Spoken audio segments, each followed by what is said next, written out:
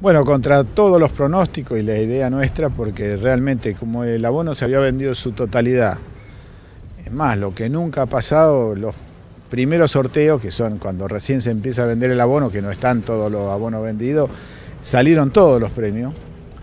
Este, la expectativa nuestra era, pero de cajón que quedaba, que, se lo o sea, alguien se lo llevaba. Además eran muy pocos los, los números que teníamos, nosotros así con cuota impaga, no sé si llegaban a 200. ¿De un total de? 5.000, quiere decir, eh, las posibilidades eran... Eh, la verdad que esta vez, otras veces, por ahí decimos, ¿y si queda? ¿Qué hacemos? En esta nos agarró totalmente de sorpresa. ¿Qué pasó? Y bueno, tenía cuatro cuotas impaga, eh, no entra dentro, ya con una cuota impaga está dentro de lo ese, que no, no cobra el premio, y ya con cuatro cuotas es es más que eso. ¿Qué número fue el que resultó ganador? Creo que es el 7086, si no me equivoco, porque yo la verdad que no vi el sorteo. Pero hoy en una nota me dijeron y creo que era ese. Este, así que. el dueño del número reclamando el premio o directamente.? No, sé, yo no he estado en ese tema, anda Campelo, que es el encargado de la cosa, pero creo que no, creo que no, que, que él reconoce que no lo pagó, así que además el vendedor, que creo que hoy dijo que, trató de cobrarlo, fue, le dijo que fuera al club, que, que arreglara de alguna forma, y no, y además creo que no es el único abono que ya alguno anterior también había quedado así.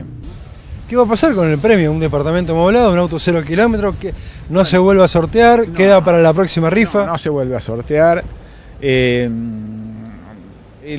ya tenemos el premio mayor de la, así que lo que ayer eh, vamos a ver, porque bueno, estamos viendo, ahora por ahí uno puede ir cambiando de acuerdo a la repercusión y demás, porque nosotros no es que hacemos este abono y listo, seguimos haciendo abono y queremos estar bien con toda la gente. Eh, la idea que surgió ayer, que era de una forma paliar un, una desgracia que tuvimos con esto que podríamos llamar suerte. Eh, nosotros hace dos años se nos incendió el quincho ahí del camping y nos reclaman, nos reclaman, nos dicen a ver cuándo van a hacerlo, que es una lástima que no esté, que es necesario. Y Bueno, la idea al principio, que, no, que a mí realmente me gustó de anoche, que se hizo una reunión, fue destinarlo a eso. Vender el, vender el premio, digamos, y destinar los fondos al quincho. Claro. Una, cosa así, más o menos. Eh, pero fue una, una de las ideas. Esto, yo hoy en otra nota decía, tenemos que dirigir, digerirlo. Esto fue muy rápido, no lo pensábamos. Otra vez tenemos más o menos que hacer. Así que en principio es esa.